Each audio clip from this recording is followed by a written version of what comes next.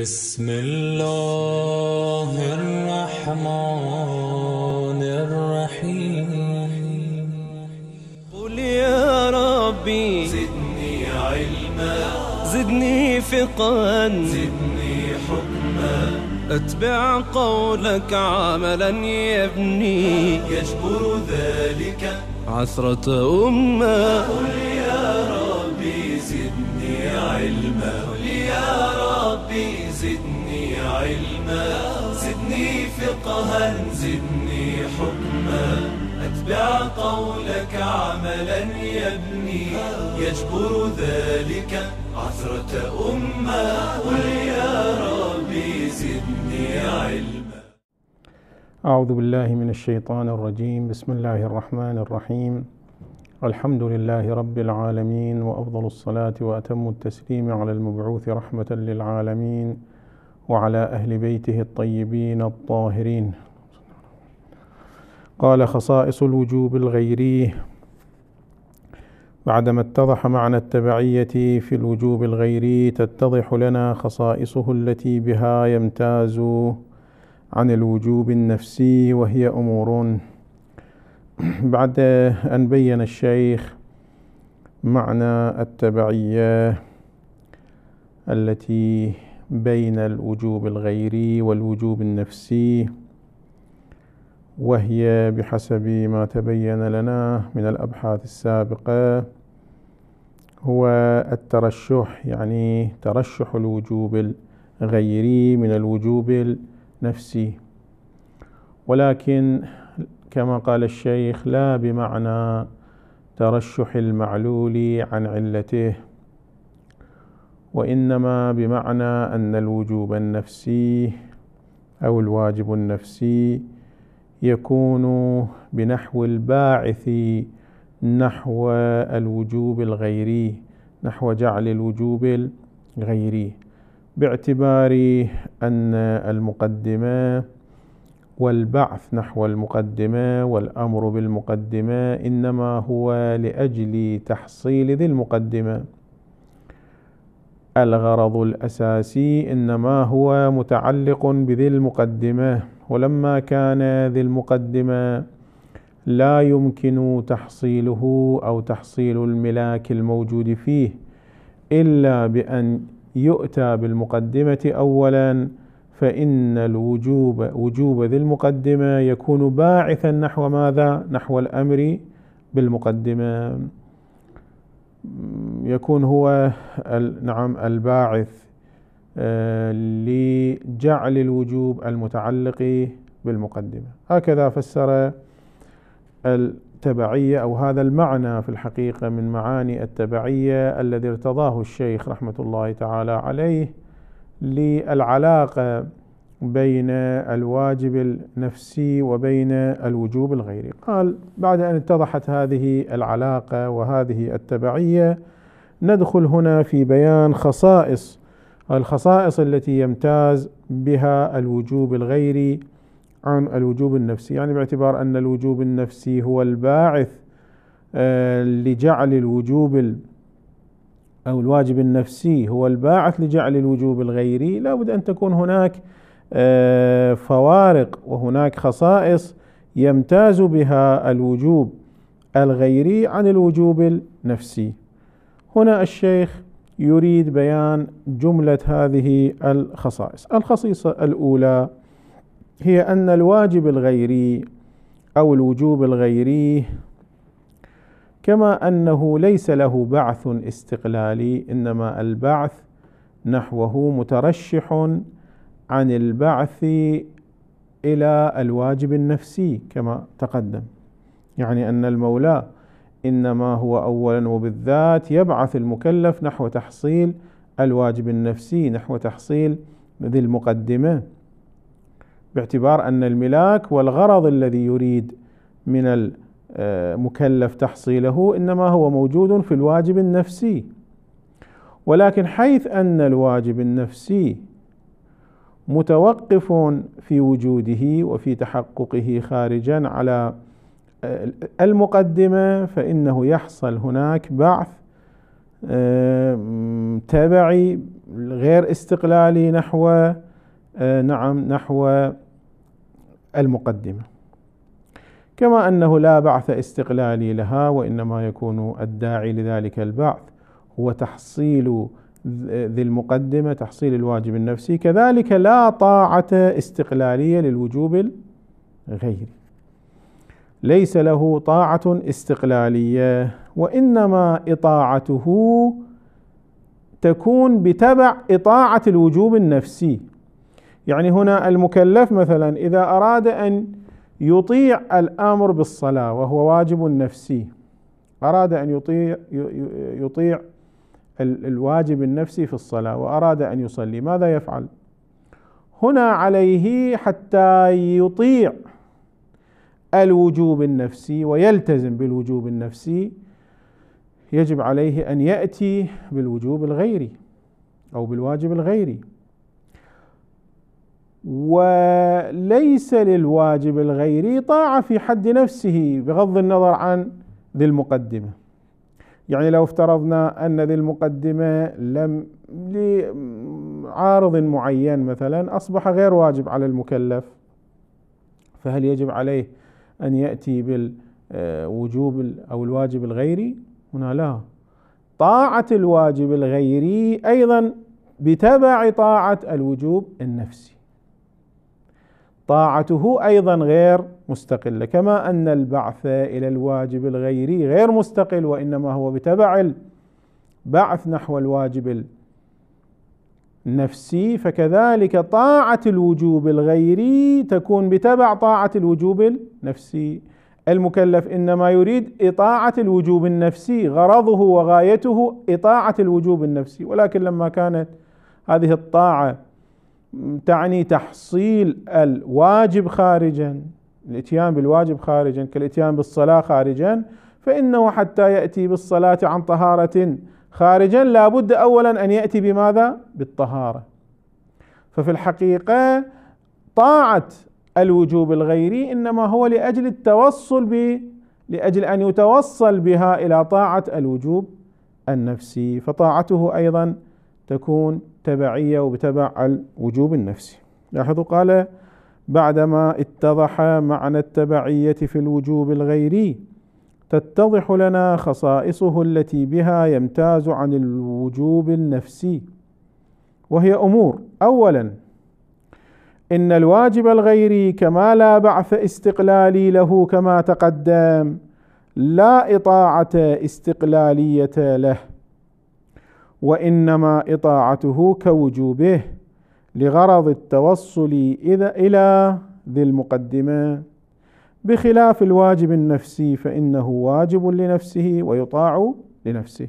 طبعا يترتب على هذا الفارق يعني بعد أن قلنا أن لا طاعة استقلالية للواجب الغيري وإنما طاعته صرف توصل يعني إنما يطاع لأجل التوصل الغرض من إطاعته هو التوصل لإطاعة ذي المقدمة أو يعني لإطاعة الوجوب المتعلق بذي المقدمة للإتيان بالواجب.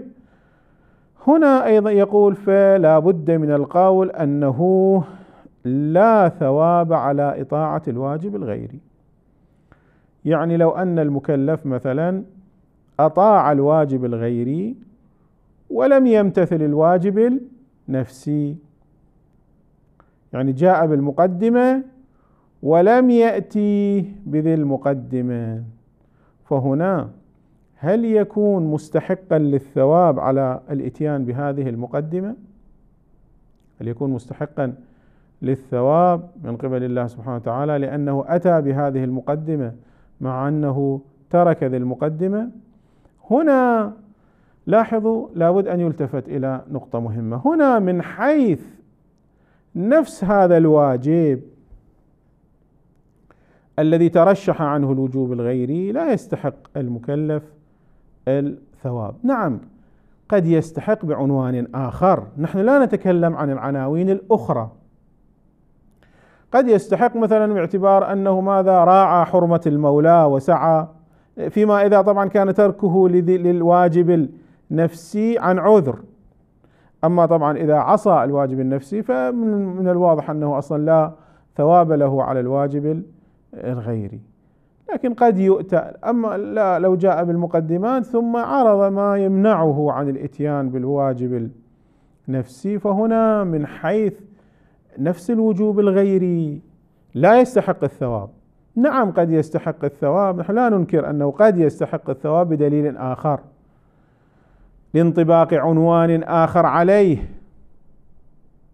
مثلا شخص كان سافر إلى مكة وفي الطريق مثلا عرض عارض عليه لم يتمكن من إتمام الحج.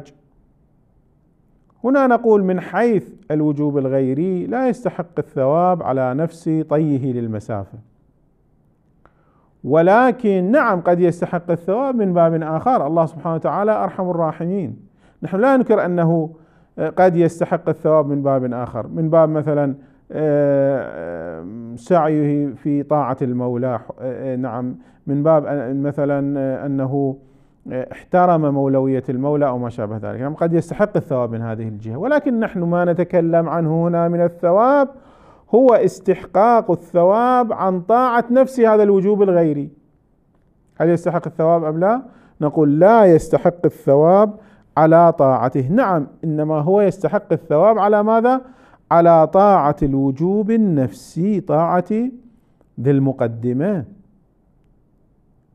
يستحق الثواب على طاعة ذي المقدمة أيضا بالعكس العقاب أيضا لا يستحق العقاب على ماذا؟ على عصيان الواجب الغيري لو أن إنسان عصى الواجب الغيري فإنه لا يستحق العقاب على عصيانه للواجب الغيري وإنما يستحق العقاب على ماذا؟ على عصيانه للواجب النفسي للوجوب النفسي يعني مثلا إنسان كان آه، مأمورا بالصلاة عن طهارة فلم يأتي عصى كان هناك وجوب غيري متعلق بمثلا الوضوء أو التيمم أو الغسل إحدى الطهارات الثلاث وعصى هذا الوجوب الغيري لم يتيم لم يتوضأ.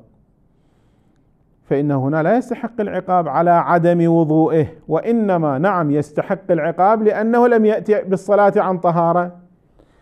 يعني هو لو لم يأتي بالوضوء مثلا وصلى بلا بلا وضوء من دون أن يكون هناك مثلا عذر أو ما شابه ذلك.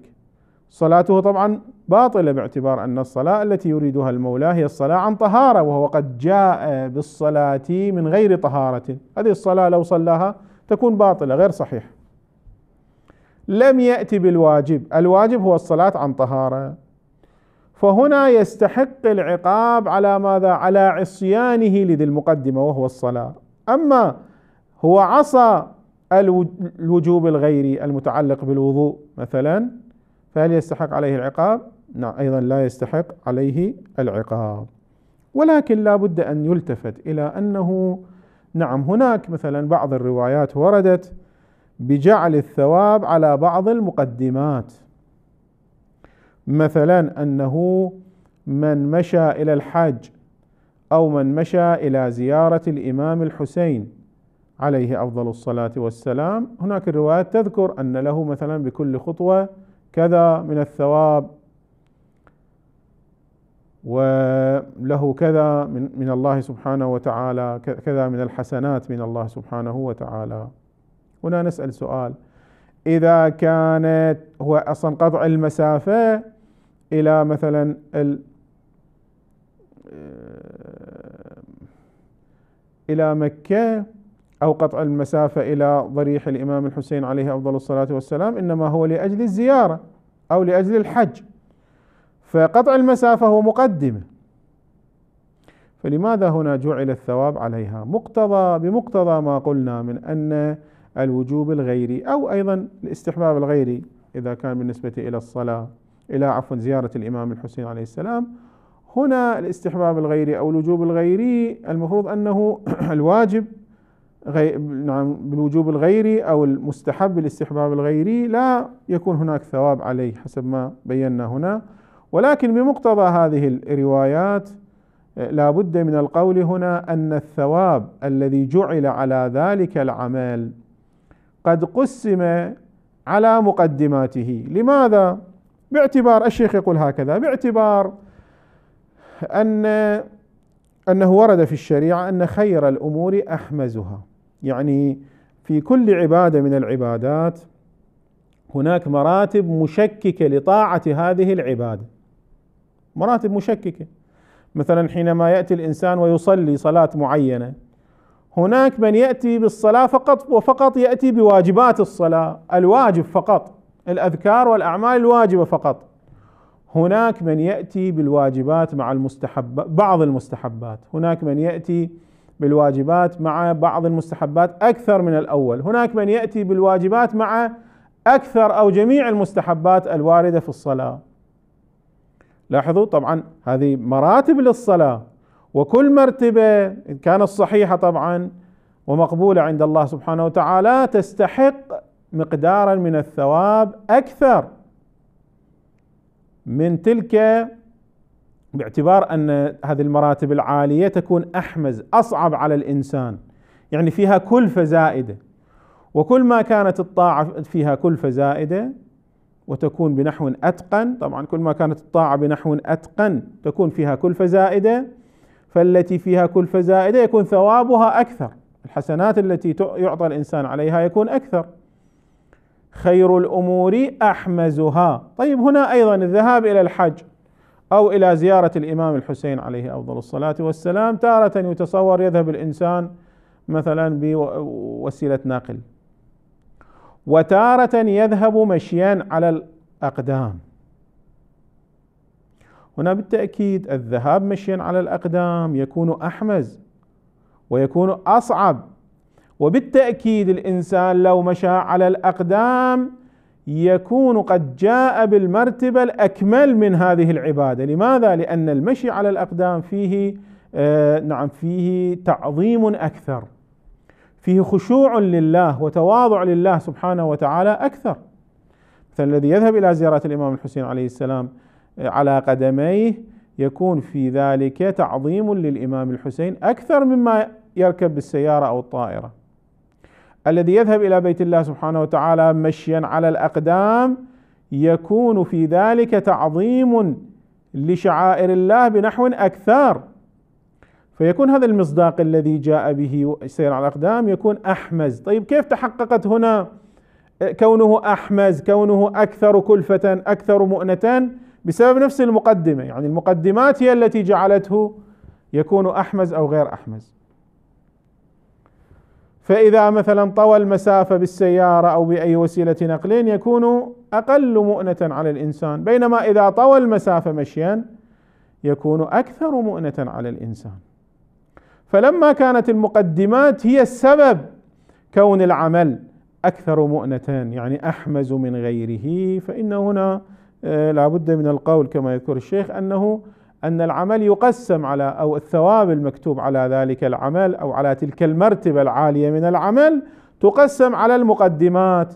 فإذا جاء بالعمل بالمقدمة الفلانية بالمصداق الفلاني وهو السير على الأقدام استحق من الثواب ما شاء الله. إذا جاء بالعمل بالسير بال بال بال نعم بالسير على وسيلة نقل يستحق الثواب الذي يكون هو أقل. فهنا الفرق في الثواب إنما كان هو لأجل المقدمة ولذلك قد نقول بأن المقدمة نفسها أو أن الله سبحانه وتعالى يقسم الثواب على تلك المقدمات التي تجعل العمل أكثر آه، إتقانا وأحمز وأكلف على المكلف. طبعا وقد يأتي يعني تفصيل من قبل الشيخ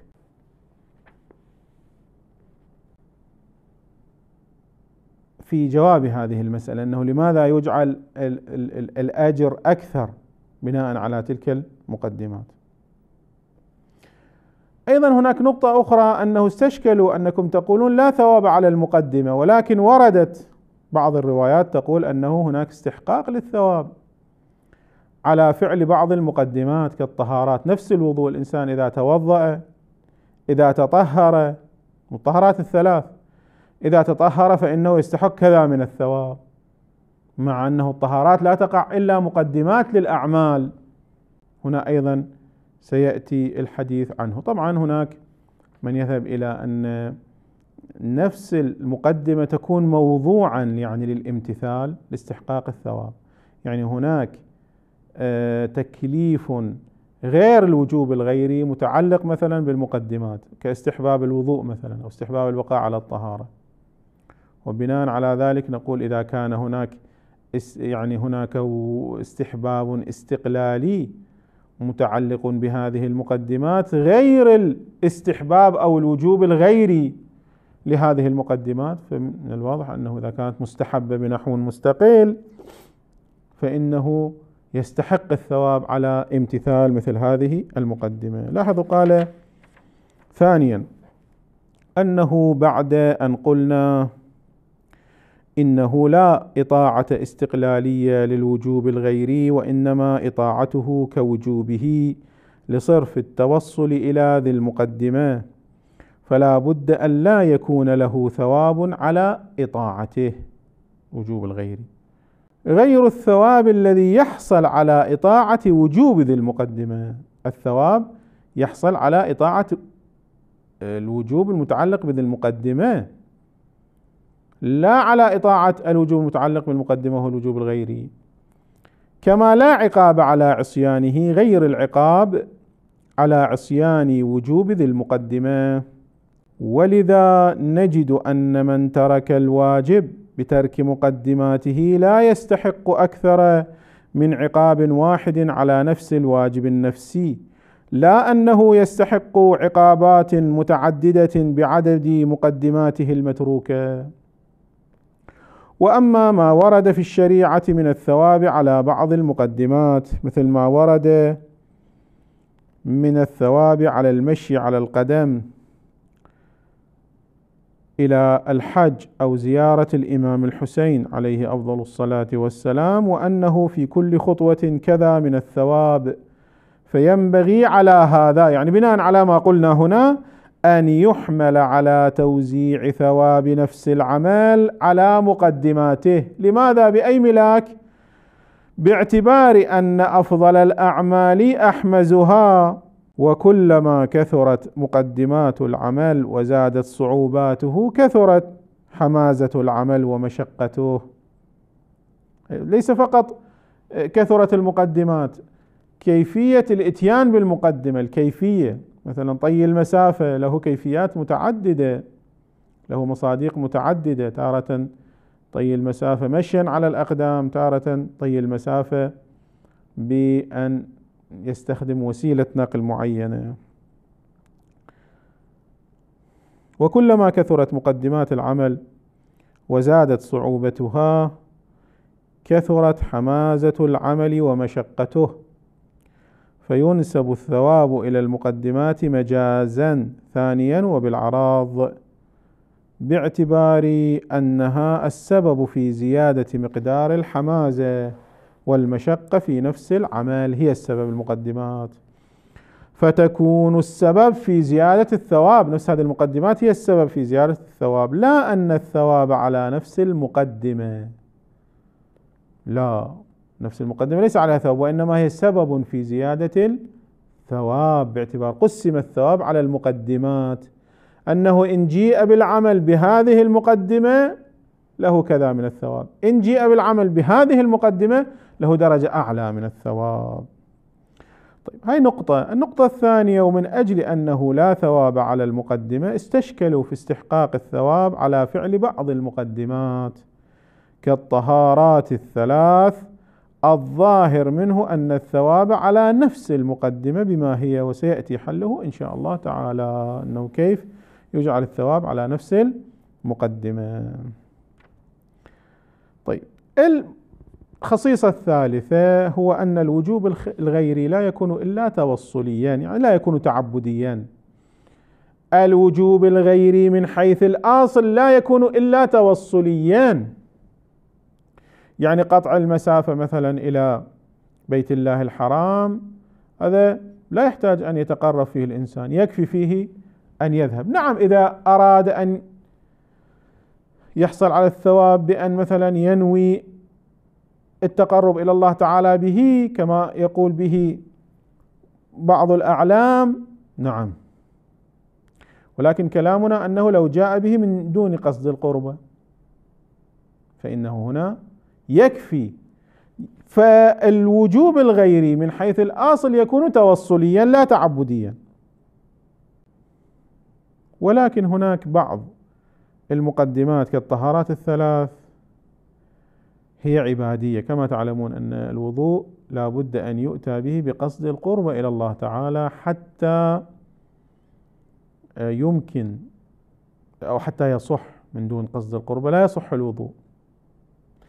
كيف تفسير أو تأويل هذا؟ سيأتي إن شاء الله كما يذكر الشيخ. لاحظوا قال ثالثا إن الوجوب الغيري لا يكون إلا توصليا. يعني يؤتى به كيف ما كان لا يحتاج إلى قصد القربة إلى الله تعالى. أي لا يكون في حقيقته عباديا ولا يقتضي في نفسه عبادية المقدمة. لاحظ قال في نفسي كلامنا في نفس الوجوب الغيري نعم قد كما سيذكر فيما بعد أنه قد يأتي دليل يذكر أن هذه المقدمة عبادية كالوضوء. نعم إذا كان عندنا دليل على عبادية المقدمة لابد أن نلتزم بهذا الدليل. أما لو فقدنا هكذا دليل لم يوجد لدينا دليل يقول أن هذه المقدمة الفلانية لا تصح إلا أن تكون عبادية إلا أن يؤتى بها بقصد القربه إلى الله تعالى. هنا تكون المقدمة عبادية. فلاحظ قال ولا يقتضي في نفسه يعني الوجوب الغيري عبادية المقدمة إذ لا يتحقق فيه في الوجوب الغيري قصد الامتثال على نحو الاستقلال كما قلنا في الخاصة الأولى أنه لا طاعة استقلالية له بل إنما يؤتى به أو يؤتى بالمقدمة بقصد التوصل إلى ذيها وإطاعة أمر ذي هذه المقدمة. فالمقصود بالامتثال به نفس أمر ذيها. هذا هو المقصود. ومن هنا استشكلوا في عبادية بعض المقدمات كالطهارات الثلاث وسيأتي حله إن شاء الله تعالى. رابعا الخصيصة الرابعة التي يذكرها الشيخ هنا أن الوجوب الغيري تابع لوجوب لوجوب للوجوب النفسي. وجوب المقدمة تابع لوجوب ذيها إطلاقا واشتراطا. يعني إن كان وجوب ذي المقدمة مطلق فوجوب المقدمة الوجوب الغيري للمقدمة مطلق. إن كان وجوب ذي المقدمة مشروطا بشيء فوجوب ذيها مشروط بشيء أيضا. مثلا وجوب صلاة الظهر مشروط بالزوال. فهنا وجوب الوضوء لصلاة الظهر الوجوب الغيري طبعا أيضا مشروط بالزوال. لا يصبح الوضوء لأجل صلاة الظهر واجبا إلا بعد تحقق شرط صلاة الظهر شرط وجوب صلاة الظهر. تصبح الصلاة فعلية حتى يصبح وجوب المقدمة فعلي. أيضا الفعلية والقوة إذا كان وجوب ذي المقدمة وفعلا واجب بتحقق شرائطه يكون الوجوب الغيري للمقدمة أيضا فعلا واجب بالفعل واجب. إذا كان الوجوب بالقوة ما زال بالقوة. يكون وجوب آه، المقدمة أيضا يكون بالقوة. طبعا هذا لماذا؟ هذا مقتضى التبعية الذي تقدم.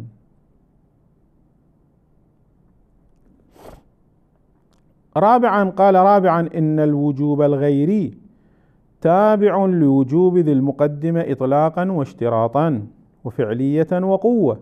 لماذا شيخنا؟ قضاء لحق التبعية كما تقدم. خب ماذا يعني هذا كما بينا؟ ومعنى ذلك أنه كلما هو شرط في وجوب ذي المقدمة فهو شرط في وجوب نفس المقدمة الوجوب الغيري للمقدمة. وما ليس بشرط لا يكون شرطا لوجوبها يعني لوجوب المقدمة. كما أنه كلما تحقق وجوب ذي المقدمة بالفعل يعني تحقق معه وجوب المقدمة. وعلى هذا قيل يستحيل تحقق وجوب تحقق نعم يستحيل تحقق وجوب فعلي للمقدمة قبل تحقق وجوب ذيها. لماذا؟ لاستحالة حصول التابع قبل حصول متبوعه. أو لاستحالة حصول المعلول قبل حصول علته بناء على أن على تفسير التبعية بالعلية حسب القول الثالث. بناء على أن وجوب المقدمة معلول لوجوب ذيها طبعا ومن هنا يلزم إشكال بناء على ذلك أن هناك مقدمات تسمى بالمقدمات المفوتة. هذه يكون وجوبها قبل وجوب ذيها مثل قطع المسافة إلى الحج. وجوب الحج يكون في اليوم التاسع من ذي الحجة فعليته يكون فعليا على المكلف في يوم التاسع من ذي الحجة طيب قطع المسافة. إصدار الجواز أخذ الفيزا قطع المسافة ما شابه ذلك. هذا كلها مقدمات تكون واجبة قبل اليوم التاسع. لأنه لو لم يأتي بها قبل اليوم التاسع لا يستطيع أن يكون في اليوم التاسع من ذي الحجة وين؟ في عرفات مثلا. مثل هذه المقدمات تسمى بالمقدمات المفوتة. أو مثلا إذا كان الإنسان جنبا وأراد أن يصوم فإنه يجب عليه أن ماذا؟ أن يتوضأ عفوا أن يتطهر أن يغتسل. غسل الجنابة قبل الفجر. والحال أن وجوب الصوم يبدأ مع الفجر. لابد أن يغتسل قبل الفجر. ولماذا يكون هنا الوجوب متقدم على وجوب لأنه طبعا لو لم يغتسل قبل الفجر لا يستطيع أن يدرك الصوم. بنحو صحيح. ولذلك أيضا استشكلوا مثل هذه المقدمات كيف يكون وجوبها متقدما على وجوب ذيها. هذا يأتي في بحث المقدمات المفوتة بحث أيضا في علم الأصول. قال ومن هنا استشكلوا في وجوب المقدمة قبل زمان ذيها وجوبها قبل زمان ذيها. في المقدمات المفوتة كوجوب الغسل مثلا قبل الفجر لإدراك الصوم على طهارة حين وقوع حين طلوع الفجر. فعدم تحصيل الغسل قبل الفجر يكون مفوتا للواجب في وقته. لا يستطيع أن يأتي بالصوم بشكل صحيح في وقته. لأن الصوم لابد مشروط بهذه النوع من الطهارة. ولهذا سميت مقدمة مفوته باعتبار أن تركها قبل الوقت يكون مفوتا للواجب في وقته. فقالوا بوجوبها قبل الوقت مع أن الصوم لا يجب قبل وقته. قبل الفجر الصوم غير واجب. فكيف تفرض فعلية وجوب مقدمته؟ مع أن الصوم يعني الحال أن الصوم لم يصبح وجوبه فعليا فعلية وجوبه عند الفجر. وسيأتي إن شاء الله تعالى حل هذا الإشكال في بحث المقدمات المفوتة. مقدمة الواجب تأتي إن شاء الله في الدرس القادم. والحمد لله رب العالمين. وصلى الله على محمد وآله الطيبين الطاهرين. إلهي وخلاقي وحرزي وموئلي إليك لدى الإعسار واليسر أفزع. إلهي وخلاقي وحرزي وموئلي إليك لدى الإعسار واليسر أفزع. إلهي لئن جلت وجمت خطيئتي فعفوك عن ذنبي أجل وأوسع.